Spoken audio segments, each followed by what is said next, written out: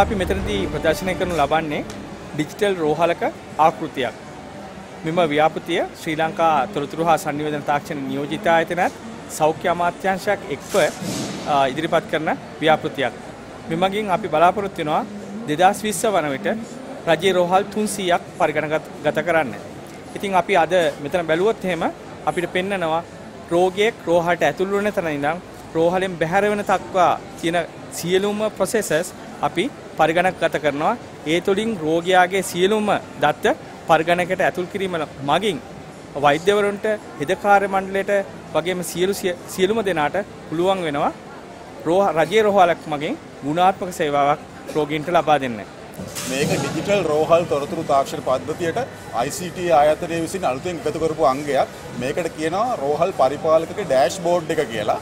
මේ ඩෑෂ්බෝඩ් එකෙන් පුළුවන් රෝහල් පරිපාලකට තමන් සේවා කරන ස්ථානයේම ඉඳලා රෝහල තුල යන්නේ නැතුව වෙනත් වෙනත් අනිකුත් ස්ථානවලට ගමන් කරන්නේ නැතුව තමන්ගේ ඔෆිස් එකේම ඉඳලා රෝහලේ සිදුවෙන කාර්යභාරයන් පිළිබඳ දැනුමක් ලබා ගන්න. මේකෙදි අද පේෂන්ස්ලා කී දෙනෙක් රෝහලේ ඇවිල්ලා ඉන්නවද? එතකොට OPD එකේ නම් කිව් එකක පේෂන්ට්ලා කී දෙනෙක් ඉන්නවද? ෆාමසි කිව් එකේ පේෂන්ට්ලා කී දෙනෙක් ඉන්නවද? අද එක්ස්රේ කීයක් අරගෙන තියෙනවද? එතකොට ඒ වගේ තොරතුරු ඔහුට මේ සොෆ්ට්වෙයාර් එක ආධාරයෙන් තමන් සේවය කරන ස්ථානයේ නම් ඔෆිස් එකේ ඉඳලා ඔහුට බලා ගැනීමේ හැකියාව තියෙනවා. එතකොට අපි හිතමු අද රෝහලේ කිව් එක වැඩි. කිව් එක වැඩි නම් ඔහුට පුළුවන් තවත් වෛද්‍යවරයෙක් OPD එකට හරි අනිකුත් ක්ලිනික් එකට හරි යන්න කියලා උපදෙස් දෙන්න. ඒ වගේම අපි හිතමු යම් කිසි ඩිසීස් පැටර්න් එක. ඒ කියන්නේ එකම රෝගයකට පේෂන්ට්ලා විශාල ප්‍රමාණයක් එනවා. එතකොට ඔහුට බලන්න අවුට් බ්‍රේක් එකක් තියෙනවා. ෆීෝ පේෂන්ට්ලා අද මෙච්චර වැඩි ඇයි? මොකද්ද මේ අවුට් බ්‍රේක් එක? එතකොට ඔහුට MOH එකත් එකත් එක්ක කතා කරලා ඇයි මේ ප්‍රදේශවල මෙච්චර පේෂන්ට්ස්ලා මේ රෝහලට ගලාගෙන ඉන්නේ කියලා ඔහුට ඒ දත්තයන් ලබාගෙන ඒකට අදාළ ක්‍රියාමාර්ග ලබා ගන්න පුළුවන්. මේක ඇත්තටම හරි වැදගත් අංගයක්. ICT ආයතනය විසින් අලුතෙන්ම HHIMS කියන රෝහල් ඩිජිටල් රෝහල් තොරතුරු තාක්ෂණ පද්ධතියට අලුතෙන් ගත කරපු අංගයක් මේක. Uh, uh, ICT agency of Sri Lanka යටතේ ක්‍රියාත්මක වෙන ඩිජිටල් ගවර්න්මන්ට් ප්‍රොජෙක්ට් එක යට තමයි මේ ක්‍රියාත්මක වෙන්නේ.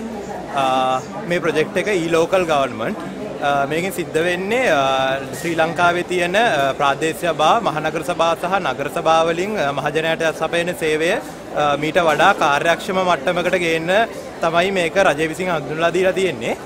එතකොට ඒ ආයතනවල ක්‍රියාත්මක වෙන නිලධාරීන් ඊට පස්සේ රජයේ මහජනයා ඒ වගේම රටේ පරිපාලන ශේෂ්ත්‍රයේ ඉන්න සියලුම දෙනාට මේ සිස්ටම් එකෙන් වාසියක් සැලසෙනවා. ක්‍රියාවලි කාර්යක්ෂම වෙනවා වගේම ඊට පස්සේදී මේක කම්පියුටර් සිස්ටම් එකක් විතරක් නෙවෙයි. මෙතනින් ඒ ආයතන වල වැඩ කරන අයගේ ආකල්ප මට්ටමේ ඉඳලා සියලුමම වෙනස් වීමකට ලක් වෙනවා අපි මේකට ක්‍රියාවලි ප්‍රතිනිර්මාණය කරණය කරන්නේ නැත්තම් ප්‍රොසෙස් රීඉන්ජිනියරින් ප්‍රොසෙස් එකක් කියලා හරහා ගිහිල්ලා තියෙන්නේ. එතකොට මේක අවසානයේ මහජනයාට මීට වඩා හොඳ සේවයක් සපයන එක තමයි බලාපොරොත්තු වෙලා තියෙන්නේ. ඉන්ෆෝටල් 2017 ප්‍රදර්ශනය ඇත්ත වශයෙන්ම ඉන්ෆෝටල් 2017 ප්‍රදර්ශනය සංවිධානය කරනු ලබන්නේ පිටිස් ආයතනය මගින්. පිටිස් ආයතනය යනු federation of information technology industry Sri Lanka. ඇත්ත වශයෙන්ම එම සංවිධානය හැදිලා තියෙන්නේ අපි චැප්ටර්ස් පහකින්. එකක් තමයි මුදුකාංග, දුඩාංග, ට්‍රේනින්, ඒ වගේම ප්‍රොෆෙෂනල් චැප්ටර්, ඒ වගේම සියලුම එකතු වෙලා තමයි මෙම සංවිධානය හැදිලා තියෙන්නේ. එමගින් තමයි මෙම ප්‍රදර්ශනය පවත්වන්නේ.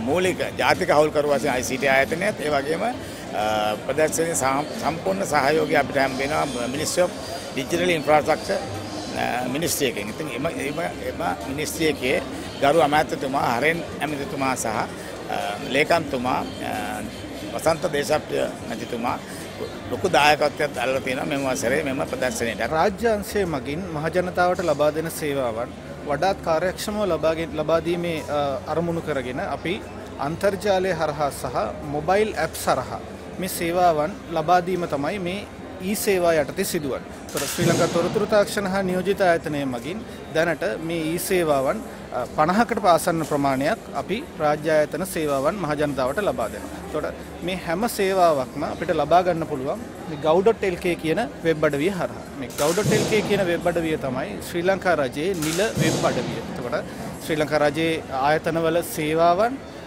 සහ ඒකම ආයතනවල විස්තර සියලු දේ මේ වෙබ් අඩවිය හරහා ලබා ගන්න පුළුවන්. අපි බැලුවොත් එහෙම දැනට අපි ලබා දෙන සේවාවන් ඊ රෙවනියු ලයිසන්ස්. එහෙම නැත්නම් ආදායම් බලපත්‍රය වාහන ආදායම් බලපත්‍රය ලබා ගැනීමේදී අපි දන්නවා ආදායම් බලපත්‍රයක් ලබා ගන්න තියෙන්න ඕනේ ඉන්ශුරන්ස් සර්ටිෆිකට් එක, එමිෂන් සර්ටිෆිකට් එක සහ ආදායම් බලපත්‍රය නිකුත් කරන්න අපි යන්න ඕනේ ප්‍රාදේශීය ලේකම් කාර්යාලයකට. නමුත් මේ සේවාව හරහා එහෙම නැත්නම් gov.lk වෙබ්සයිට් එක හරහා අපිට අන්තර්ජාලයට ලොග් වෙලා gov.lk වෙබ්සයිට් එකට ලොග් වෙලා ඒ තමන්ගේ වාහනේ විස්තර ඇතුළත් කරලා ආදායම් බලපත්‍රය ලබා ගැනීමට අවශ්‍ය ඒ ඉන්ශුරන්ස් සහ ඒ එමිෂන් සර්ටිෆිකට් එක රියල් ටයිම් ඒ වෙලාවෙම වැලිඩේට් කරගෙන ඒ අදාළ මුදල ක්‍රෙඩිට් කාඩ් මාර්ගයෙන් ගෙවලා ආදායම් බලපත්‍රයක් ලබා ගන්න පුළුවන්. මේක මහජනතාවට ලැබෙන විශාල සේවාවක් සහ කාර්යක්ෂම සේවාවක්. ඔබ සැමව ඉන්ෆොටෙල් ස්ටාර්ට් පැවිලියට අපි සාදරයෙන් පිළිගන්න. මේ පැවිලියන් එකේ තියෙන නව මෘදුකාන්ත නිපයුන් කරුවන්ගේ සහ නව ව්‍යාපාර කටයුතු කරන කුඩා කර්මාන්ත සහ නවීන පන්නේ හිටදිනේ එන මුෘදුගාංග සහ තාක්ෂණය ඇතුළත් හතලියක් මෙතන ප්‍රදර්ශනයට දාලා තියෙනවා. මේකින් අපි ඔවුන්ට මාකටිං සහ සේල්ස් යන දෙකට අතහිතදීමක් අපි කරගෙන යනවා. මෙහි IoT සහ mobile application, cloud application, සහ e-commerce, the cutting edge අපි කියන cutting edge technology සහ tomorrow's mainstream technology today කියලා අපි කියනවා. මේ සියල්ලම ඔබට මෙතනින් දැකගත හැකියි.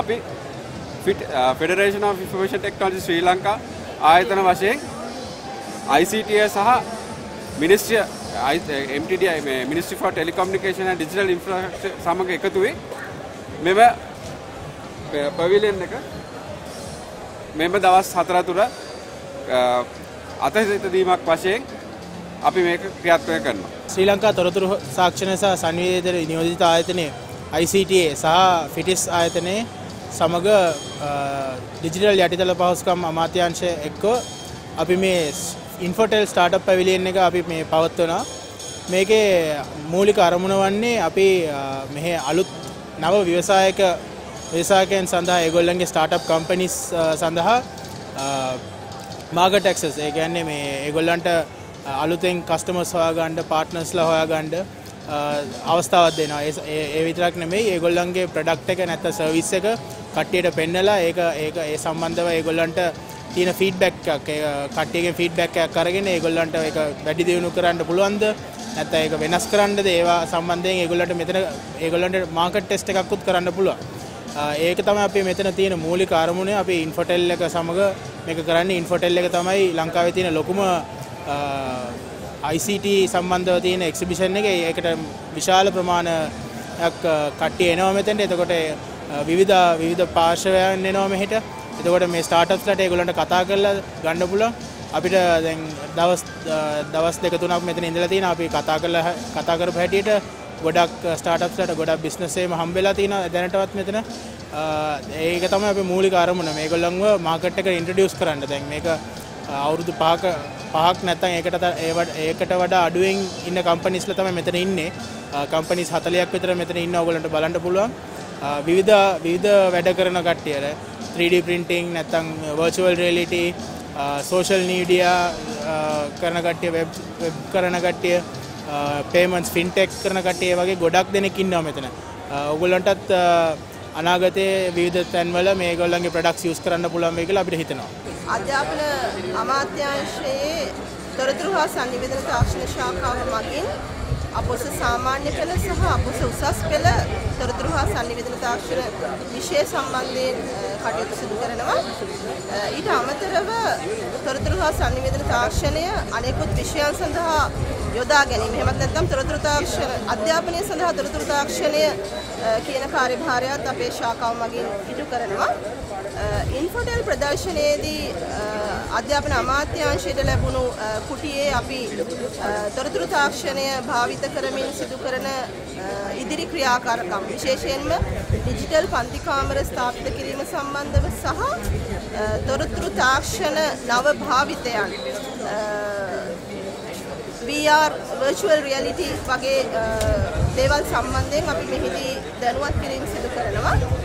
අ, අධ්‍යාපන අමාත්‍යාංශයට විදුලි සංදේශ සහ ඩිජිටල් යටිතල පහසුකම් අමාත්‍යාංශය යටතේ ක්‍රියාත්මක වන ශ්‍රී ලංකා තොරතුරු හා සංනිවේදන තාක්ෂණ නියෝජිත ආයතනයක් සහයෝගය දක්වනවා පාසල් වල ඩිජිටල් පන්ති කාමර ස්ථාපිත කිරීම සඳහා. මේ කාර්යභාරය අපි මේ වසරේ නියාමක ව්‍යාපෘතියක් විදිහට ආරම්භ කරනවා.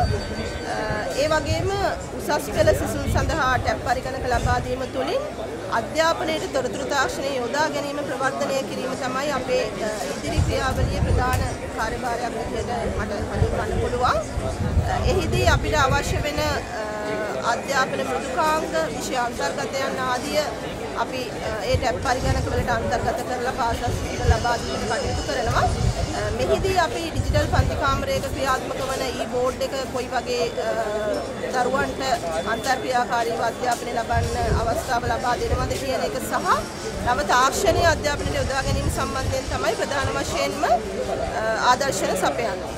ලේඛනයක් විද්‍යුත්තේ භා- විද්‍යුත් අ, ක්‍රමවේදය භාවිතා කරලා සත්‍යාපනය කරනු ලබන්නේ කොහොමද කියන දේ අ, පිළිබඳවයි මේ අපේ ප්‍රදර්ශන පුටින් ඉදිරිපත් වෙන්නේ විශේෂයෙන් මේ ඊඩැස් පද්ධතිය පැමිණීමට පෙර අපි මේ ලේඛන සත්‍යාපන කිරීමේ ක්‍රියාවලිය මැනුවල් විදිහට තමයි මේ අතීතයේ සිද්ධ කළේ ඒ ඒ පද්ධතියෙන් බැහැර වෙලා 2017 පෙබරවාරි මාස 6 වෙනි දින අපි ඊඩැස් පද්ධතියේ අ, මගින් ලේඛන සත්‍යාපන ක්‍රියා කරන ක්‍රියාවලිය වෙත යොමු වුණා.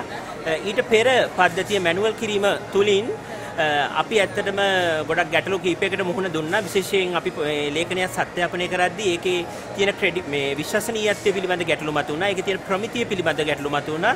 එමෙන්න මේ ලේඛනය සත්‍යාපනය කිරීමේදී එක පුජ්‍යලේ පැමිණිලා පැය පහක පමණ කාලයක් විදේශ කටයුතු අමාත්‍යාංශයේ කන්සල් ඩිවිෂන් එකේ අ, රැඳී සිටින්න සිද්ධ වුණා.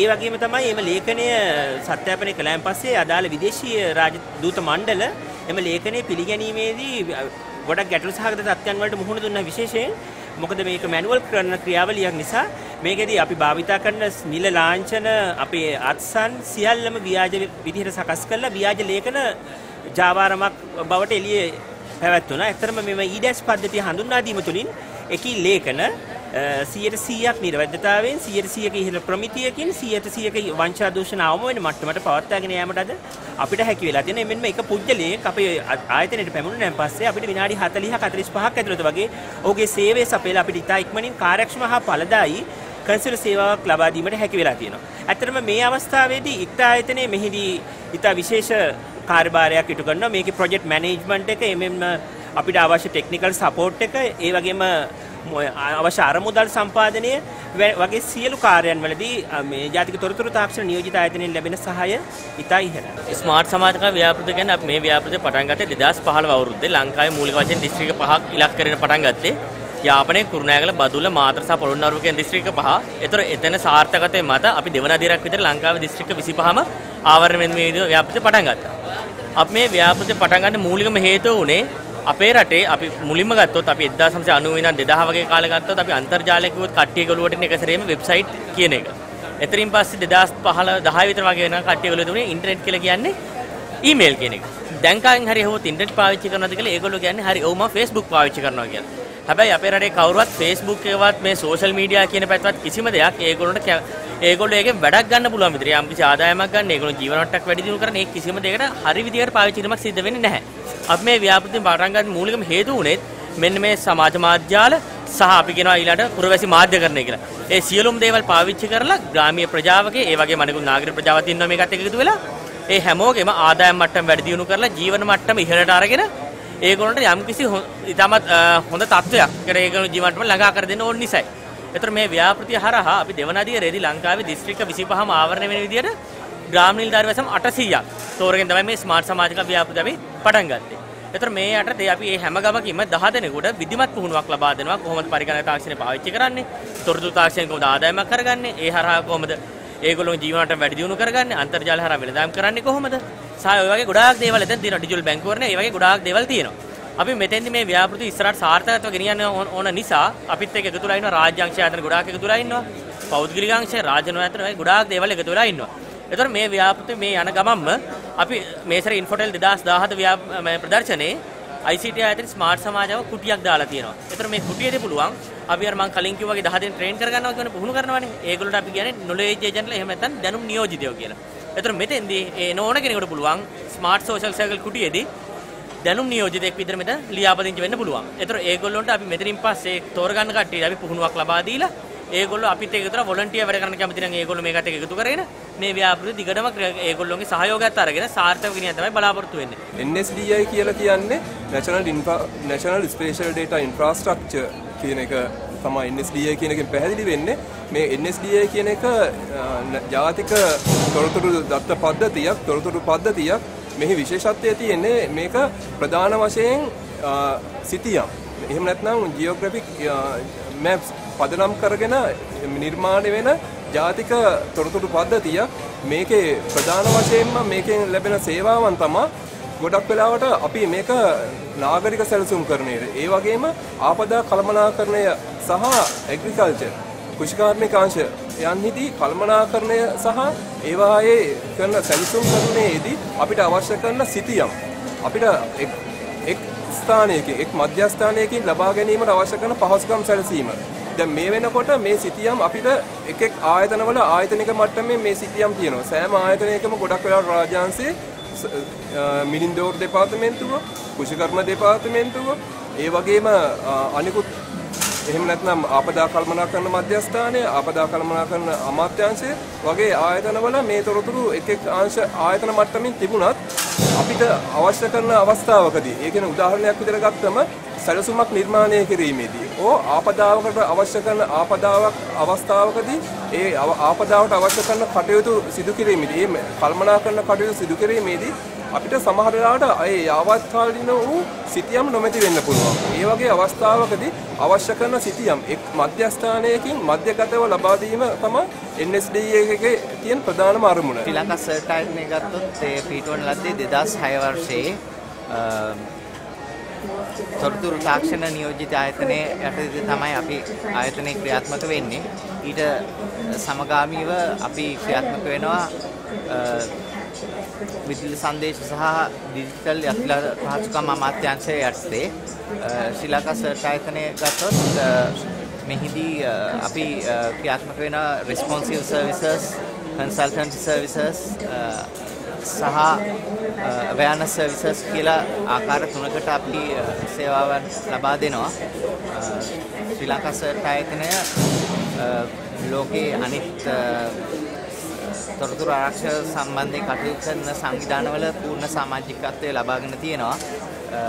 අපි ගත්තොත් APCERT Asia Pacific Computer Emergency Readiness Team ඒ වගේම First Forum of Incident Response Security Teams කියන සංවිධානවල සමාජිකත්වය ලබාගෙන තියෙනවා.